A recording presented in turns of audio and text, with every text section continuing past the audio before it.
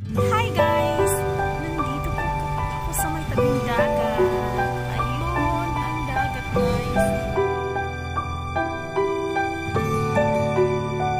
Ang lakas ng alon.